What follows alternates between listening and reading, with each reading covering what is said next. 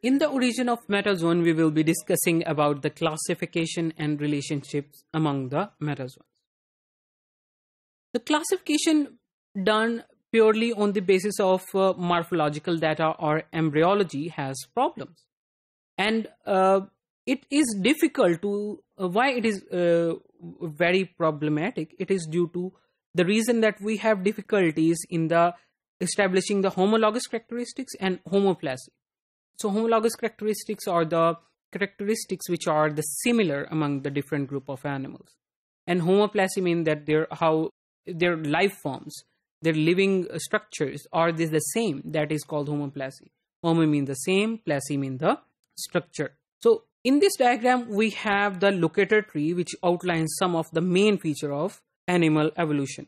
So in the demosponges, you have the sponge-like structures. The demosponges and calcisponges, these are much more related. And there comes the uh, eumetazoans, which are the uh, cnidarians. And then comes the echinoderms and hemichordates. Before that, all of these are invertebrates. But after the chordates, there comes the vertebrates, which are the fish, right? So in the chordates, you can see the fish. And then there is another clade of arthropods, peria culids, bryozoans, annelids, brachiopods, and mollusks. So all of these are the organisms which are having an other clade and these are developmentally as well as the evolutionarily different from the other groups. So in these locator tree outlines, you can see that how different features of organisms can be found together. For example, mollusks are having the outer shells, the arthropods are having their own structures, for example, the jointed legs, so you can see everything in each of these clades separately. So the demosponges and calcisponges are the simplest organism as we have discussed in the earlier diagram as well. And the, the cnidarians were, are the most basal eumetazoans. Eu means two, metazoans means that these are the organisms which were first, uh, we can say that these are the first animals, first true animals first two early animals which were formed. Why?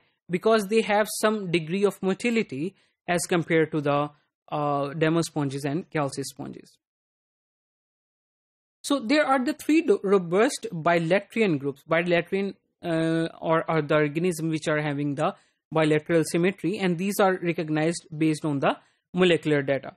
These are the ecdysozoans, spiralians and deuterostomes we will be discussing these one by one. So the protostomes, proto means before, the ecdysozoans and spiralians, these are comprising the protostomes. Protostomes means, proto means the first and uh, uh, stome means the mouth. So protostomes are the first mouth.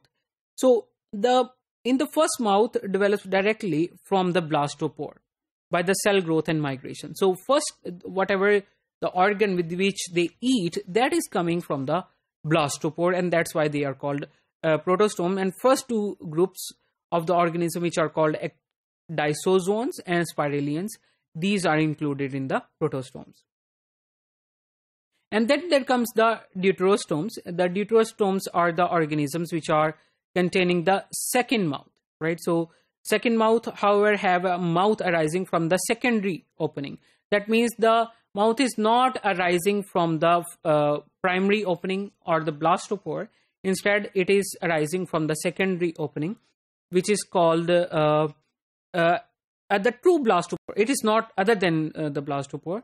The blastopore does not make the mouth. Instead, it is making the anus. The true blastopore develops as an anus. So, uh, what are the organisms which are included in the deuterostomes? The echinoderms, hemichordates, chordates, and other or, uh, uh, complex organisms are included in the deuterostomes. And we can have the classification on the basis of larval types as well. So, for example, Nauplius larva is present in the Crustaceans, Planula is present in the Cnidarians, and Trochophore larva is present in the mollusks and the polychaetes. So, you see that uh, trochophore larva is common in the mollusk and polychaetes. What does what does it signify?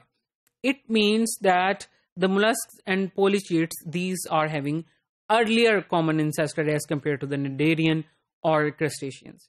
Uh, and then there is the shell veliger, which is a developmental stage in the uh, mollusks, it also signifies the or identify the mollusk.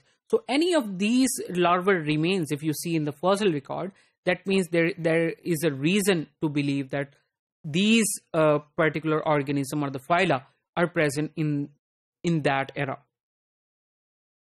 And uh, on the basis of uh, invertebrate, uh, we have seen some of the invertebrate larvae uh, in the fossil record. Invertebrate larvae are occasionally identified in the fossil record, and more advanced and preparatory high-tech investigate techniques have been developed in the uh, paleontology. So, with the help of those techniques, we can identify the larval remains of the fossils, and we can identify the particular organism from those larval remains as well.